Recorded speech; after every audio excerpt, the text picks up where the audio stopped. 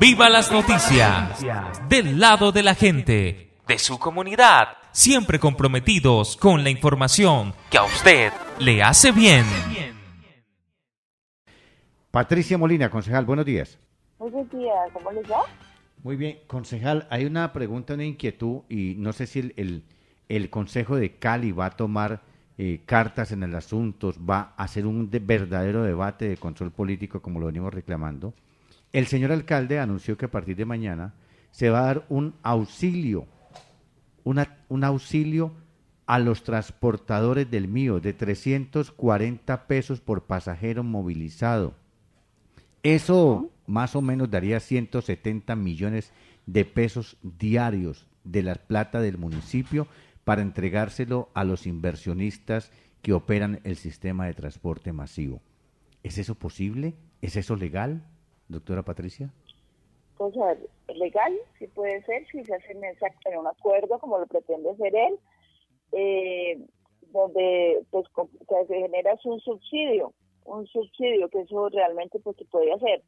Lo que yo creo es que no es lo, lo ideal y yo no estoy de acuerdo con él. Me parece que es una medida, eh, digamos, que abusa del ciudadano caleño porque nuestros recursos están yendo a un hoyo profundo, lo hemos dicho, que es el mío, sin que haya ninguna planificación real. Además, el mío necesita reestructuración y ese subsidio, esos subsidios que crean así transitorios, porque él plantea un subsidio transitorio de seis meses, eh, siempre se quedan como subsidios, así como los impuestos permanentes.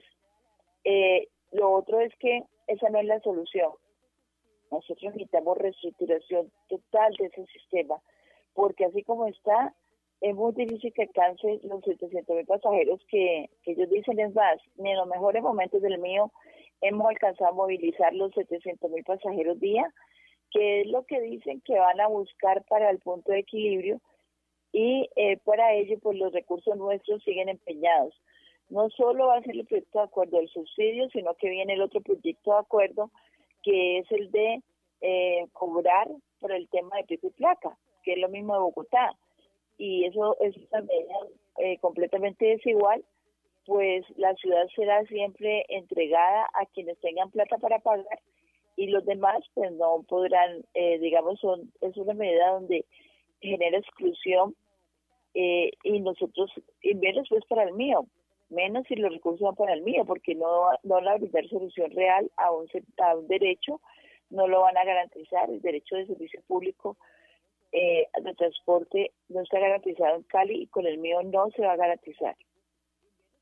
Eh, la, la, pregunta sería porque no hay tarifa técnica eh, que es la que el Estado le puede subsidiar a unos transportadores. En este caso, la, la, pregunta que nos llama, lo que nos llama la atención, concejal, es la plata del municipio, que es a través de los impuestos que todos los caleños pagamos, entregársela así sea 340 pesos por cada pasajero movilizado a unos inversionistas, la plata del Estado para garantizar eh, el funcionamiento de empresas privadas?